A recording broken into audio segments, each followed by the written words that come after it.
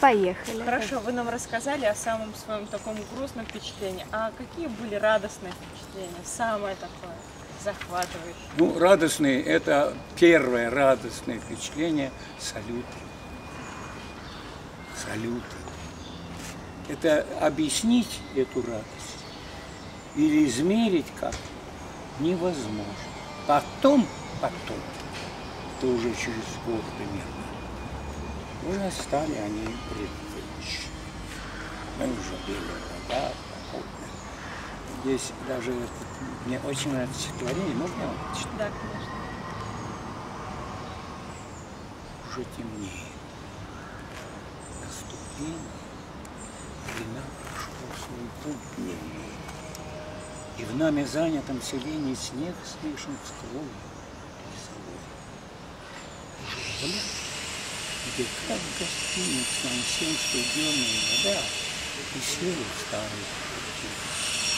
Смотришь на так, туда, где в полверсте от крайней хаты мы, оторвавшись от земли под рудими раскаты, уже не прячась в рост пошли. И Ты уверен в этой жизни, что раз такие полверсты ты смог пройти, значит скоро пройти всю землю сможешь ты. Браво. Это ответ на ваш вопрос, то есть продолжение ответа на ваш вопрос о самом таком Спасибо. А расскажите, у вас есть награды? У меня есть награда только за войну. Я же был на фронте три дня. Я же в основном в Багай-Барановке занимался переха- пе- пе- перегонкой самолетов на фронт. На фронте я был вынужден, потому что потребовался... Я не был в составе части, той, которая была на этом участке. А нужно было сделать, аэродром подскока, чтобы не летать за 500 километров, заправляться истребителем, чтобы прямо раз и. Такое понятие аэродром подскока, чтобы не тратить для бензина время, чтобы бои были очень. Основное это Багай-Барановка, я там занимался. Э, По штату полагался один механик на каждый истребитель. По штату. 17 самолетов в сутки приходилось обрабатывать. А это же садится, его смотришь, что, чего ты запишешь, заправишь, чем нужно, или отправишь и вызовешь команду подремонтировать, там и сам управляешься, все, вот, вся работа. Вот на 18 самолетов. Ни сна, ни отдыха, ни покоя, ничего. А что вы знали осенью 41 года о положении под Москвой?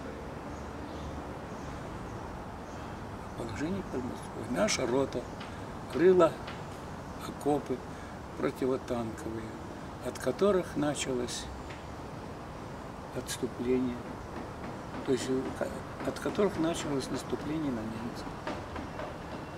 Бучково, Дедовск. Вот это места, где наша рота копала вот эти вещи и сдавала их комиссии из саперного управления. Как вы восприняли то, что враг уже подошел вплотную к столице? Ну, это я уже не успел такого, потому что меня эвакуировали. И школа вся переехала в Сибирь. У вашей роты был командир. Вот вы можете рассказать о нем? Федор Михайлович Шурко. Это прежде всего, он был Тут такая интересная судьба идет. Просто так не расскажешь. Он нам преподавал литературу. Лучшего преподавателя литературы я не знаю. Потом он, когда кончилась война, мы переехали снова в Москву. И школа, это в 44 году, он пошел в ГИК преподавателем, стал профессором, доктором этих всяких наук. Вот наш преподаватель. Кого вы и ваши друзья на тот момент считали лучшим, ну, полководцем? Полководцем? Нет, я этого не могу ответить. Наиболее Я выдающийся? за свои слова отвечаю. Хорошо. Я не могу, А мне не дано было. каково ваше было отношение к Сталину, к личности Сталина? Это меня уже спрашивали. Личность Сталина. Все прячутся за его, ее противоречивость. Я не прячусь. Сталин меньше изверг, чем Петр. Много Иван Грозный. Иван Грозный, может, меньше Сталин. Вот и вы хотите очень много от меня того, а я же всё, я работал с ним, на него работал. Вот, когда я стал чекистом.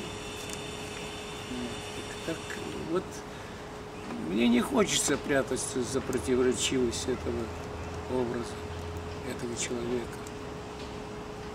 Но многое, что ему написали, приписывали, это такой бред.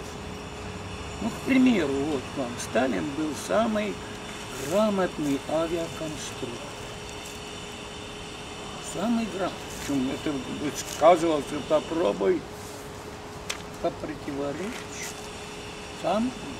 И в любом он самый главный э, специалист по открытию каналов. Самый главный, как у нас был Никита Хрущев, самый главный специалист по куру. Так что в этом смысле Сталину приписывали черти что. Я всегда для меня, вот даже молодого, значит, 15 лет не было, у меня все время возникал такой вопрос. Я хорошо знаю, насколько трудна конструкторская работа всех вот этих Духова, Никояна, Лекарпова, Лавочкина, Ильюшина. Вот я хорошо с этим совсем знаком. Я не мог себе представить, что Сталин, ну хоть на процент лучше любого из этих конструкторов. Это, немо- это невозможно. А это значит обожествляли просто-напросто, как придумали Иисуса Христа. Одни Магомед, другие, Синто, третьи. И так у каждого народа свой Бог. А может нет. Бог один. Вот, И вот из него делали все Бога. А вот на фронте было множество национальностей. Как вы думаете, что их всех объединяло? Ведь ну, вы же должны знать, понимать, что на фронте не все были добровольны. Это была обязанность. Людей мобилизовали, это непростое слово. Людей собирали. Ну и русские воспринимали так, на мой взгляд. Так что вот ездит немец, я не хочу, чтобы он был там, где я живу, чтобы мою жену, чтобы она ему служила, чтобы дети мои служили. Нет, я не хочу. Это давало силы преодолеть разлуку с родными местами, с родной женой. И вот у каждого народа это было по-своему. По-своему. У каждого народа. Были народы, у которых пропагандист, организатор были сильнее наши. Ну, вот возьмите калмыки. И Сталин потом их перебазировал, потому что они, да, калмыцкая кавалерия была убита. За то, что, скажем, чечены и ингуши. То есть чеченцы, они не были репрессированы Сталином тогда. А вот потом, уже после войны, а Кабардино был карцер. Все равно, что и э, ружье в спине.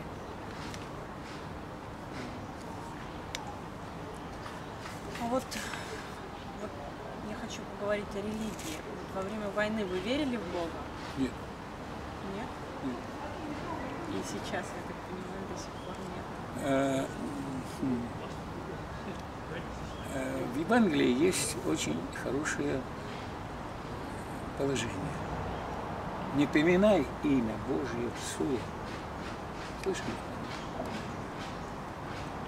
Э, полемизировать или что, я не могу, я могу вам просто сказать. Я верю. Совсем не того, который нам дают самбона и с мечети там и прочее, совсем не того. Я ученый, я кончил МГУ, а там прекрасный курс физики, биологии, всех наук. Обязательно. Вот. Вот таким образом. Я считаю определенные времена, которые еще не кончились, религия нужна. Нужна. Ну вот вам опыт с коммунистической партией. Опыт, который стоил миллионы. Миллионы. Это опыт отсутствия религии, борьбы. Результат вот. Ведь в 90 в начале 90-х годов наше не было государства как такового вообще. Не было. Я не знаю, можете вы себе это представить, не можете, вы были слишком юны. Но это моя точка зрения. Я так думаю. Религия нужна. А без нее получится вот так с компартией. Что бы и что бы не было на месте этой компартии, потому что она состоит из людей. А люди своим сознанием и поведением, как были неандертальцами, так и стали. Они не стали вот так, они вот так. Сюда, всегда. А как удавалось не падать духом и поддерживать воинскую дисциплину? А у нас не было, у меня такого вопроса не было, и у нас не было вопроса. Вы знаете, как мы учились? 30 человек – это взвод, средний бал по отделению. То есть не по отделению, по взводу. 30 человек. 3,62 сотых. А преподавали нам, то есть и требовали ответа, такие как Бархударов. Это родоначальник русской грамматики в школе, учебник Бархударов.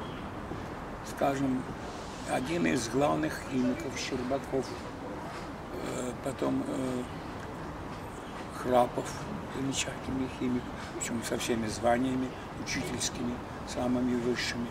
То есть для нас, будущих летчиков, самая лучшая кадровая явилась. А вот приходилось вам во время войны слышать о власовцах? Много. Слышите, 2 мая под Берлином, там так, значит, Сталин такую тактику маленький городок проходил, оставлял там взвод пос- постреливать. И, значит, в окружении городок. Там, там. А они прорывались. Вот с Власовцем так получилось, что они прорывались большим, большим соединением с пушками, с танками. И 2 мая они напали на штаб корпуса. Была ну, разведка тоже работала, где нет частей. Тут самая вот восточная часть Берлина, самая восточная часть, там вот стоял штаб корпуса. И командир корпуса был в Кольцоне после, после пьянки. 1 мая. Там и батальон аэродрома обслуживания, и все связисты, все служебные службы, эти службы все. Вот пошла рукопашная. там больше четырех тысяч немцев было, то есть власовцев было. Наш э, этот самый особняк, СМЕРШ, всех пропустил через себя. И у всех снял часы. Два мешка часов. А когда механик шел в тембе, он на две руки надевал часы. Поможешь, спасибо еще скажешь. Вот так, властвовать. Ну, э, это я просто говорю вот непосредственные впечатления. Ага. Тогда, когда это началось, я что-то не припомню, что у нас это какое-то особое внимание привлекало. Ну, предатели были, есть и всегда будут. А понимаете, в чем дело? Ведь Власов был непростой человек. Он был за советскую власть. Вот. И так сложились обстоятельства. И вот его поведение, он наверное, ошибки делал какие-то. Ну, путем.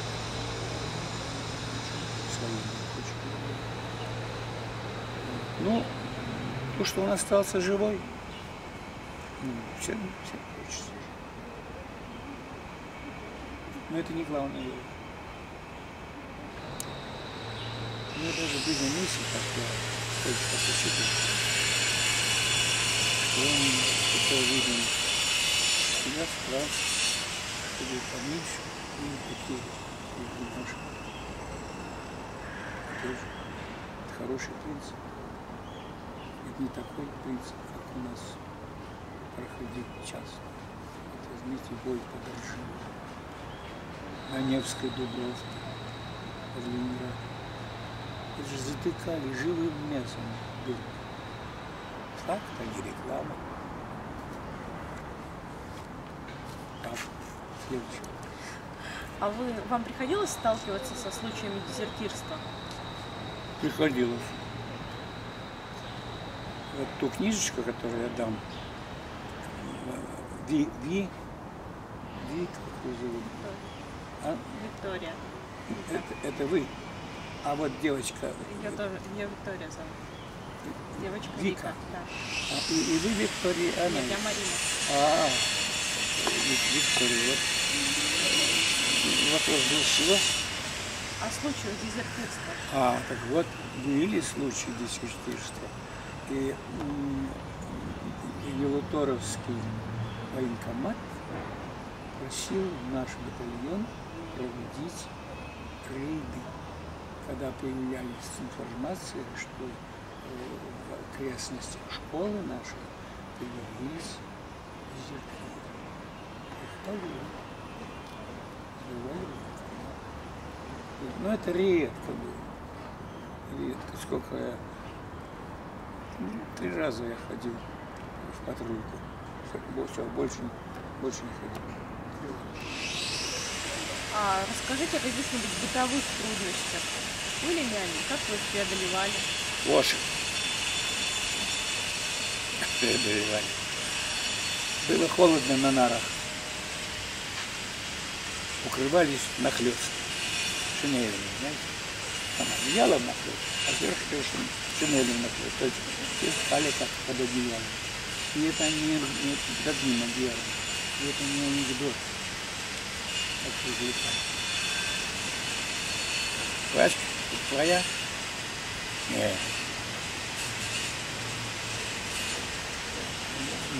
Видненько. Стали метить.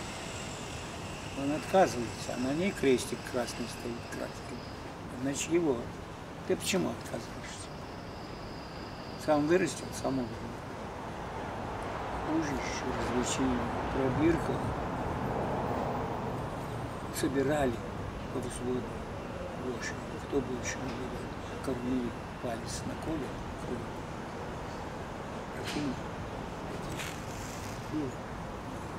Ну, а потом приняли меры хорошие. Вот всех пропустили не один раз через жаровню. Ну, были разные кадасы, скажем, э, Сашка Лысов, хороший летчик был. Э, Он э, охотник был до невозможности. Чем даже меня совратило, я с ним один раз на лыжах за 40 километров, там, где Васюганские болота. Вот. Ходили, э, значит, ну, этих косуль на овощехранилище подстеречь. Так вот, когда э, мы проходили жаровню, то есть там же баня, здоровая бочка. Э, Всему тому, что я говорю, у меня в этом краеведческом музее я все материалы отдал. А, Вот. Кажется, нет, есть у меня в этой книжке, вот, что я э, Вике обещал дать сегодня, э, там есть бочка огромная тут. вот. Мы ее натаскивали воды, и мы. И в это время наше набмундирование, сапоги, пилотки, шапки, э, шинели, ну, еще эти эксплуатационные тужурки такие, чтобы не мазать шинели. все это прожаривалось и загорелось. И все наше внимание, и то, что мы вчетвером пришли, голенькие выбегали на улицу из горящей бани. Так женщины нам отдавали свои трусики, там кое-чего, голову бежать, закрывали, потому что мороз 40 градусов, мороз 20 градусов, там мы не считали за мороз. Мы на зарядку в 20 градусов выбегали, по пояс голые, и натирались в снег. Был жесткий, не мокрый. Вот. Так вот, это самая большая беда у нас была. Ну, про голод я вам рассказал, что мы не могли ходить. Приходили преподаватели. А занятия... Расскажите, а была ли любовь на войне? На войне в нашем корпусе. Я вот сейчас не помню, как их фамилии. Ну, э, э, я, я их должен помнить, но он был у меня этим оружейником. Красивый, здоровый, как Есенин и Кучерявый. И в БАУ у него была девушка. Я даже письма их не сохранил. Вот Ишак, потом познаешь, какой ты Ишак. Так вот, они все время воевали в одном корпусе. Встречались регулярно. Она была в БАУ, бата- батальон аэродромного служения. Ну, Там укатывали снег, э, раскапывали, там, разминировали там, ну, площадку э, взлетную, то есть э, ну, дорожку взлетную. И вот за всю войну они не спали. А когда кончилась война, в первый же день они поженились, уехали в деревню за Уралом и стали рожать. На третьем у нас переписка кончилась. Это вот ну, в полку. В полку еще была э, такая манера иметь ППЖ, полевая почтовая жена. Ну, девушки из балу. Она с этого имела либо служебные э, преимущества, либо какие-то материальные преимущества. Это было очень широко распространено, когда командиры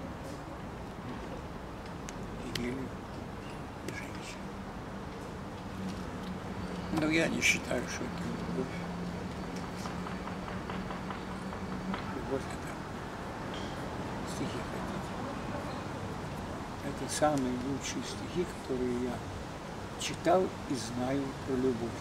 Ни Шекспир там, ни Есенин, ни. Лучше.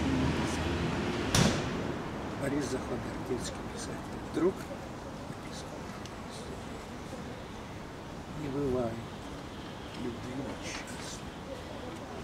Может быть, она горько, трудно, безответна и безрассудна, может быть смертельно опасна.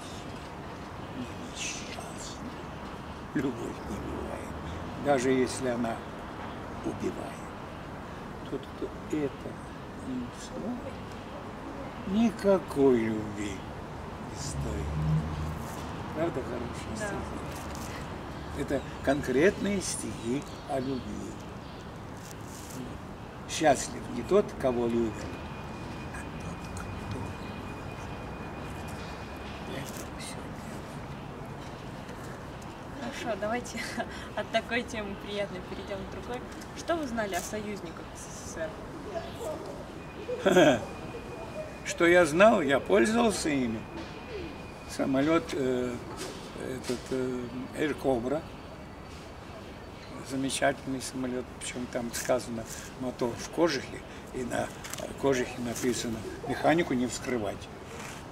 А самолеты такие, американцы, сделали самолет Cobra. Они его сделали и, законсервировали все производство, все законсервировали. Пошла война, они расконсервировали, стали нам давать Cobra. Это иногда королевской кобры называли. Покрышкин очень любил этот самолет. Очень любил. Это был первый самолет в нашей э, авиации, у которого передний, переднее колесо. Так, у него шасси не такое, что здесь костыль или там, как у У-2, или дутик, как на Як-3. А вот тут стояло. И он так стоял ровненько. И у него мотор был сзади летчика. Спина была хорошо у летчика. Вот. Ну, дальше автомобили. Я научился водить машину на Dodge 3 четверти. Так отделение мог вести. Как обычно у него подвинуть 600 килограмм было. Но самое такое, я не знаю, для меня было непонятное, когда э, сдава- сдавать самолеты, которые по ленд-лизу шли в долг самолеты. Их надо сдать. Отработали, война кончилась, мы больше не нужны. Сдавай. Американцы. Значит, проверяют по ведомости все часики, там э, приборы, все, все, лампочки на месте, даже инструменты, наборы, чтобы были полностью, а иначе страшная неустойка. И вот они все это собирали, бросали с высоты в кучу, обливали бензином, поджигали и уходили. Вот что я знаю об этой технике американской. Ну, а- а- а- анг- английский, какие же вы, Спитфайр был английский, Мустанг, по-моему, это американский. Что же еще? Спитфайр. Там много самолетов они давали нам. На Боингах мне приходилось мотористом летать. Я думаю, что они не только техникой, но и консервными вот эти баночки. Э, Там же и консервированный хлеб, уже консервированное полное дневное довольствие. М, я Впервые там попро- попробовали эти жвачки. Нет, э, я считаю, что ам- американцы, ну, англичане больше, они когда скромнее были в этой, но американцы очень много нам прислали техники, и очень много ушло на день на дно моря. Пикуля, помните, читали что-нибудь? Вот, он очень образно и хорошо пишет, даже интересно. Хорошо. Вы выяснили, что я думал об э, ленд-лизе и прочем, прочем. Да. А вот где и как вы встречали 9 мая 45 года? О, 9 мая 45 года в полку. Все. Вот по вашему мнению, какой фильм о войне больше ну, посоветуете посмотреть молодежи? Какой фильм? Да, о войне.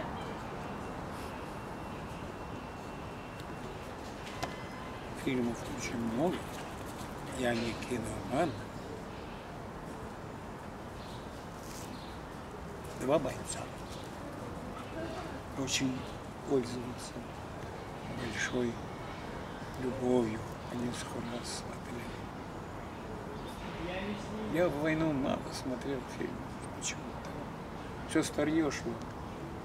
Вроде этого свинарский пастух.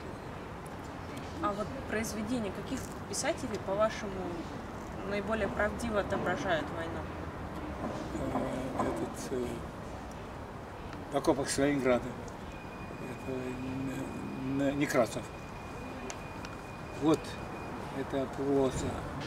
А я был увлечен Симоном, Яндовским и Друниным, который я держал за талию. Серьезно. Она эвакуировалась вместе с нашим училищем. Отец ее был преподавателем Она сговорила 10, 9 курсантов наших и убежали на фронт. Восемь вернули и сдали в военкомат.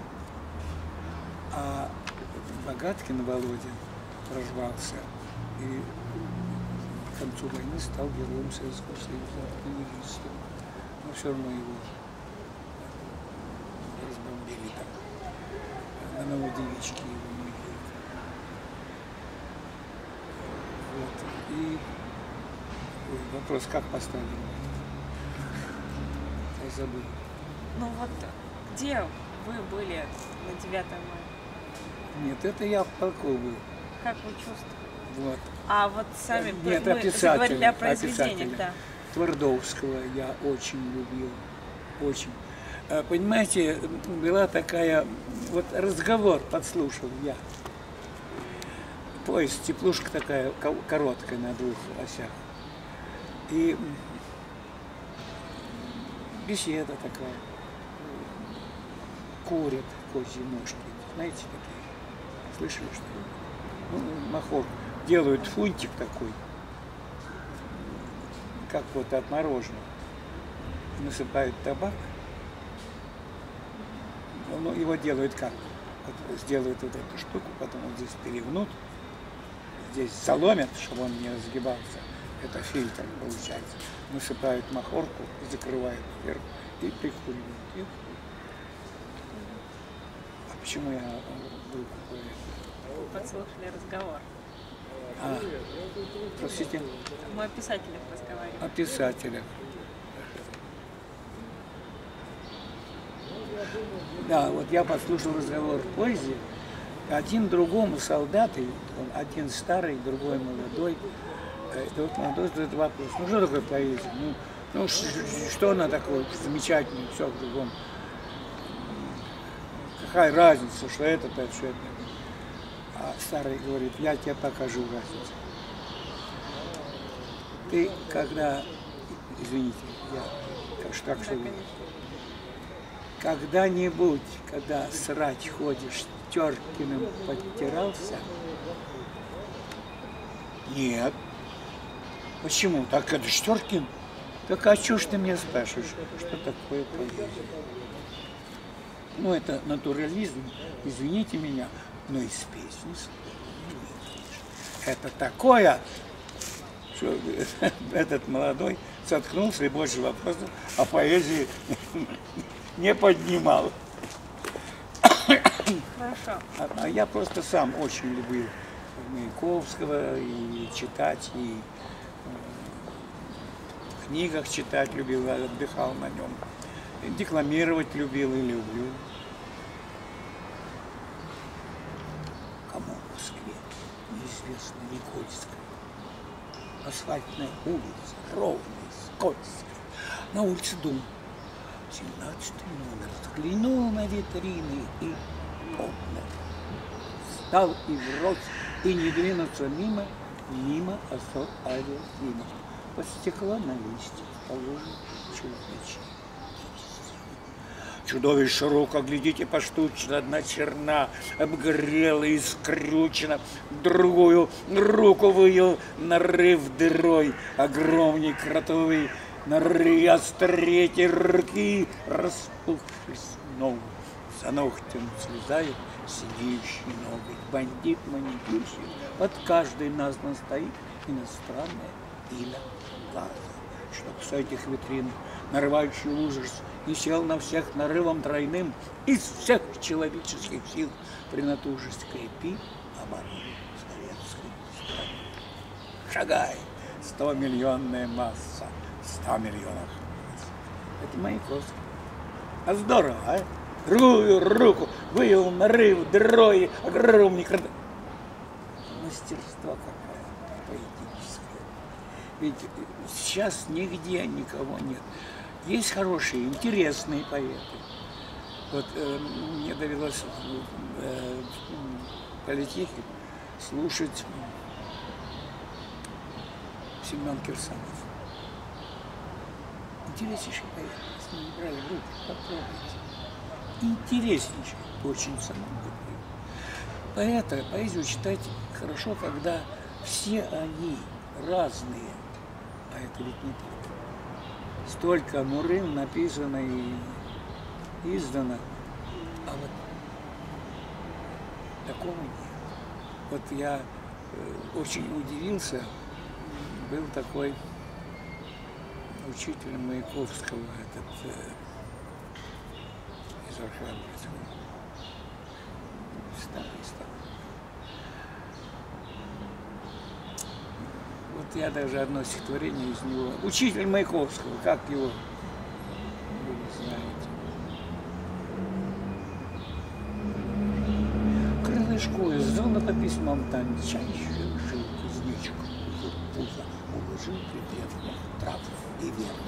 Пинь-пинь-пинь, тарарахнул зинзивер. О, его, о, озари. С необычной стихотворением. Память такая. Что вам. Но читать его не надо. Хоть он учитель. Я его всего прочел. Так, э, сложно, тяжело. Удовольствие, как от поэзии, вы не получите.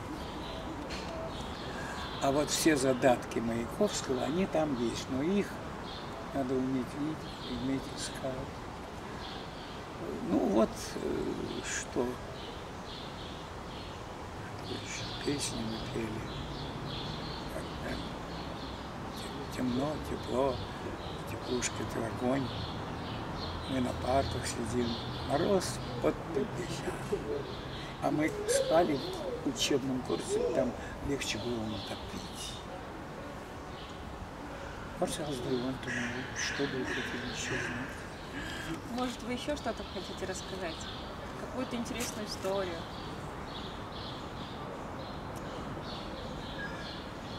Да нет, нет такого. У меня все истории интересные.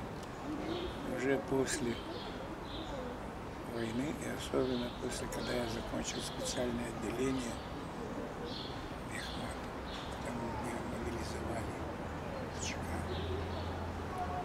Там было пона- поначалу два года я мучился страшно. Меня вызвали в ЦК. Вам нужна новая кадр после третьего курса. Вы согласны? Я говорю, я согласен. Только скажите, а что будет с тем, кто откажется? Это на, на Старой площади. Меня спрашивают, как я буду кандидат партии. Мне говорят, тот, кто откажется, будет продолжать учиться, только партбилет его останется у нас. Но я ни одного человека, отказавшихся, из отказавшихся, не видел потом на Мехмате. А встречался с ними уже через 15-20 лет, экстерн. Так я про Сташку Слысову забыл. Сгорели-то через 20 лет после того, как мы первый раз встретились после войны. А мы каждый год встречаемся. А в этот раз мы гудели у меня дома. Ну, в смысле, выпивали-то. Стало дорого уже рестораны. Мне ребята говорят, слушай, Михайлов, у тебя лучше гудеть, чем в ресторане даже. Вот. Как Сашка признался, что пожар случился, он забыл патроны своей куртки, охотничьи патроны своей куртки, и они рванули, и пожар. Ну, за давностью мы уже ему претензий не могли предъявить. Что бы вы хотели пожелать современной молодежи?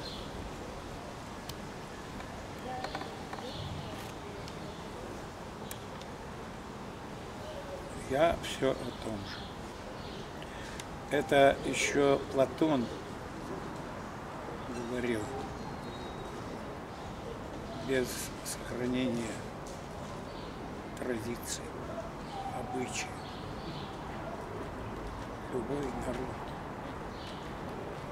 перестает быть народом, становится заворотом и добычей другого народа, ассимиляции.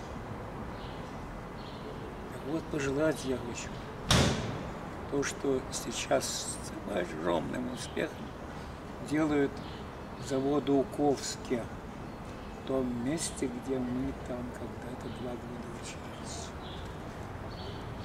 Они копают, находят, делают стенды специальные от этих находок.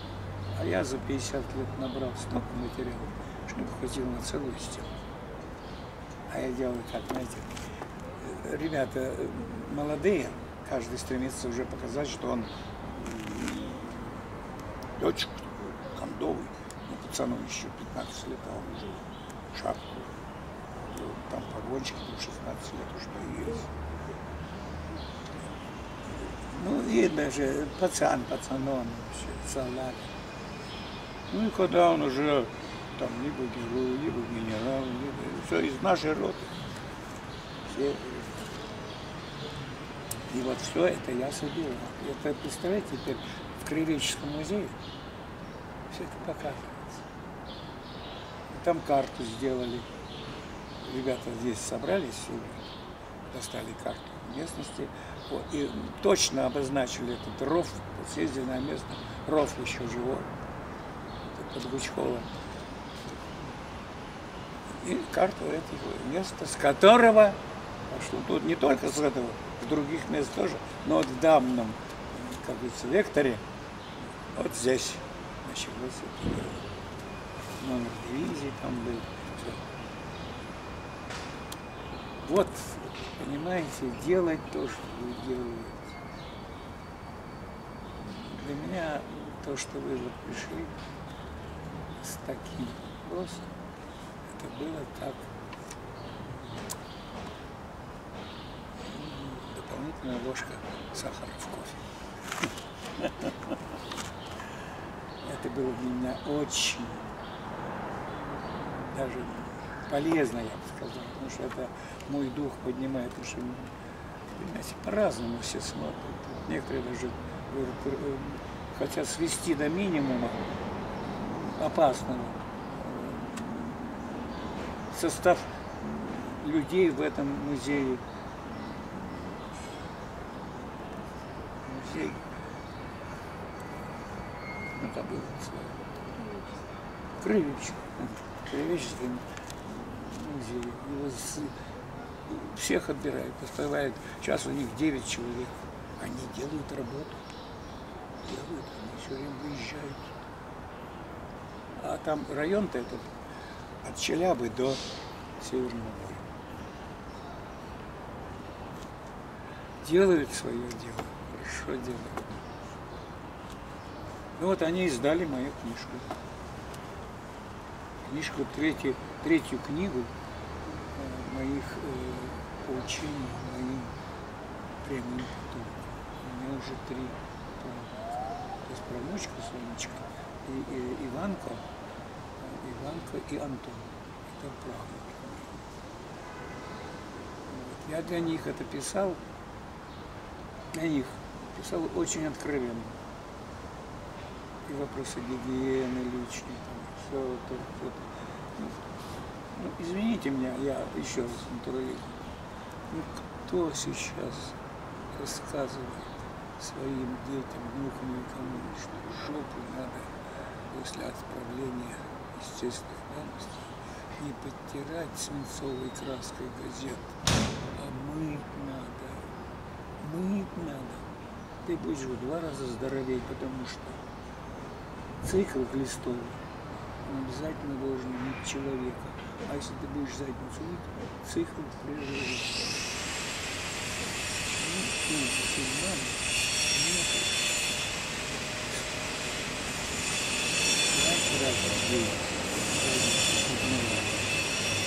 Ну, опять вы извините, но лучше не стало. Ну, довольно беседой. Да, спасибо большое. Было очень интересно. Я рад, что слегка помог. Да, для нас это очень важно.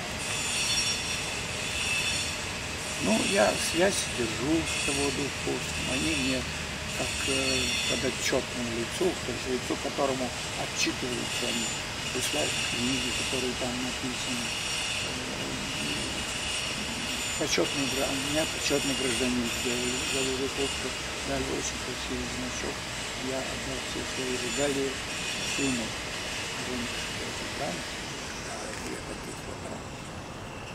И там, значит, одни это правительственные награды, а вторая рамка там, ну, слетал я в этот Байконур, сделал запуск.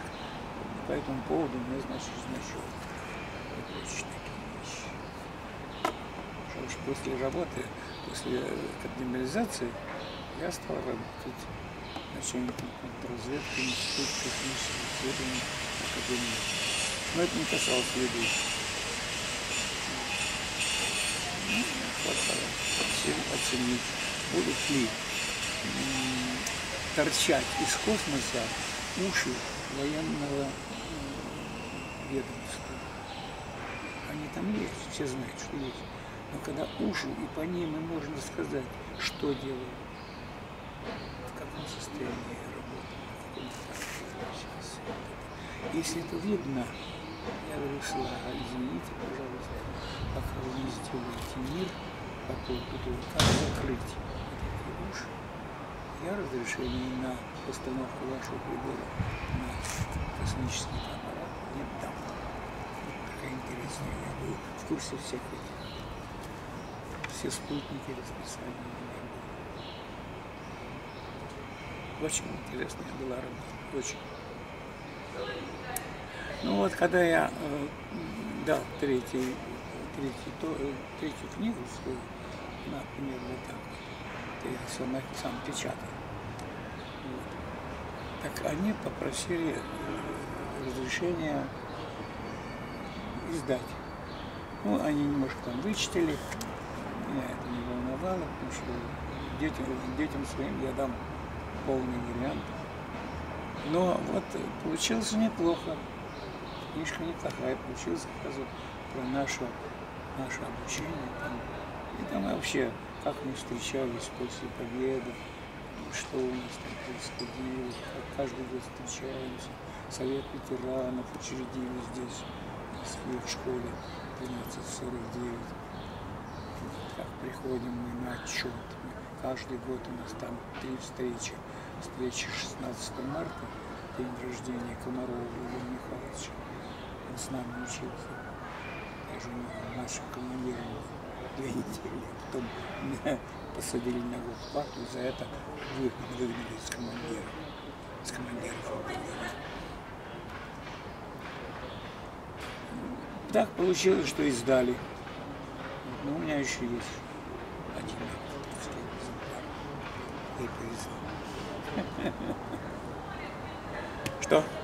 Дальше? Все, хорошо. Спасибо большое. Не на чем. Рад служить. Спасибо огромное.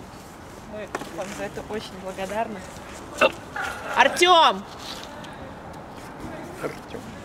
Артем. Редкое имя.